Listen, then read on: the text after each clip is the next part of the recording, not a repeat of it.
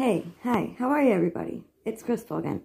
Um, obviously chilling out after work, but I had an idea. You guys have kind of sort of seen me crochet, but none of you probably realize how I actually crochet. And yeah, so, um, still dressed how I was at work. Anyway, I'm working on this lovely sweater for myself with half double crochet ribbing at the bottom and moss stitch or linen stitch up here. It is from the um, Sunset Nights collection with the Isle of Skye color for uh, Lion Brand. And I'm actually loving it. However, since you guys have never really seen me crochet, I thought I'd show you what I actually do. So, my belly button's right here. Here's my crochet hook. I insert it into where it needs to go, and then I crochet. I don't always have to look at what I'm doing, because I have been doing this on and off for, oh god, I was 11. So we're just going to say an, eight, uh, an age. That's all we're going to say. But, because I learned how to knit first, instead of crochet, I tend to throw my stitches.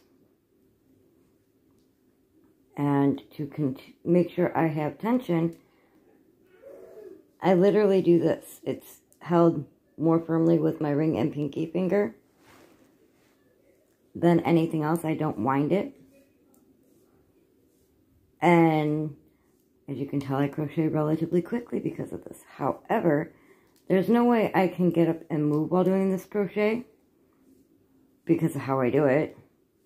And there's no way for me to be like a speed crocheter because of, again, how I do it. You see, matter of fact, while I'm crocheting, that my hook gets picked up. Oops, I think I inserted it. Yep.